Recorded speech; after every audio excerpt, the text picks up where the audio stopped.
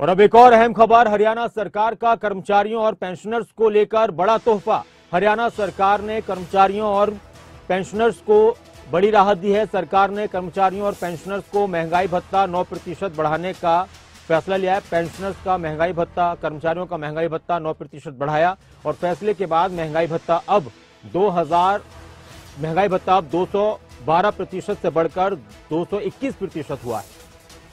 राज्य के वित्त विभाग ने इसका आदेश जारी किया है। कर्मचारियों और पेंशनर्स को इस बढ़ोतरी का लाभ जनवरी से मिलेगा। तो जनवरी से ये लाभ मिलेगा, ये फ़ायदा मिलेगा। नौ प्रतिशत बढ़ाया गया है महँगाई भत्ता।